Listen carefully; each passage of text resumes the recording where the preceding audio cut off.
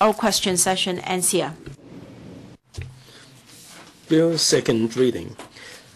Secretary Secretary for Waste Disposal Amendment Bill 2013. Bill second reading. Secretary for Environment. President, I move that the second reading of the Waste Disposal Amendment Bill 2013 in order to uh, regulate fly tipping uh, of the construction waste on private land.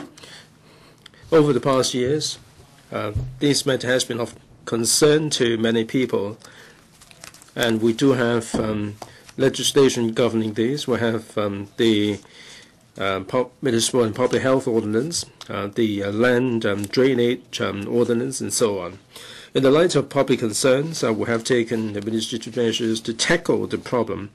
We have um, the liaison mechanism to um, enhance um, departmental communication. We have um, tackled um, the black spots by erecting railings and so on. The ENB has also reviewed um, the effectiveness of the waste disposal ordinance, and through this amendment bill, we are seeking to implement uh, improvement measures, i.e., there is a need um, for permission to be sought uh, from the owners or lawful occupier for um, the depositing of uh, construction waste. It is only uh, when complaints are lodged uh, that uh, we will be able to ascertain whether permission has been sought. If um, it involves um, private land, it may be difficult for us to secure evidence, like um, the depositors and the owners may be advancing um, conflicting uh, information. And this is um, a common occurrence. In some cases, uh, because of the outdated information, it would be difficult to um, ascertain the ownership of the land.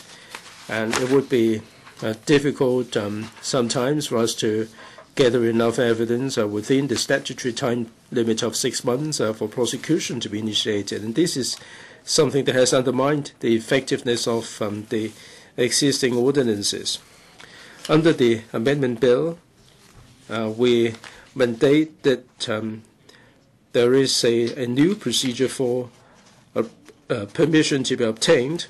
Anybody who uh, seeks to deposit um, the construction waste uh, will have to use um, the specified form to secure the written consent of um, the owner or the lawful occupier.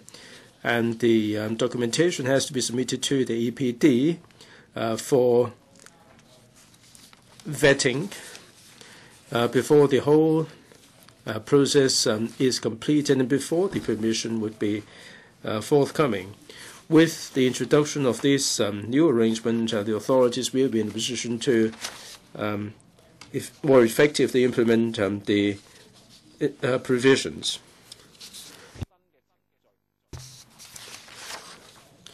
And if um, one doesn't follow these uh, new procedures, a prosecution can be initiated, and this would enhance the effectiveness of um, law enforcement. And this will be of a deterrent effect. And we do need uh, the permission of um, the owners.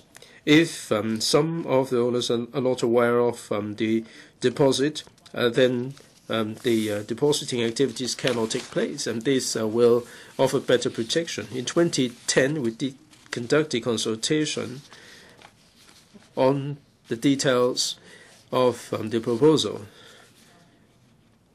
In February 2013, uh, the Environmental Affairs Panel deconsidered this uh, issue, and members of the panel urged the administration to bring forth um, this amendment bill to um, address the problem.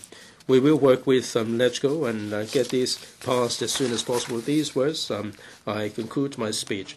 I now propose a question to you, and that is that the Waste Disposal Amendment Bill 2013 be read the second time.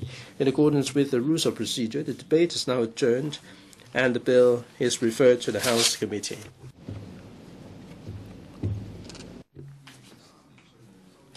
We now resume the second reading.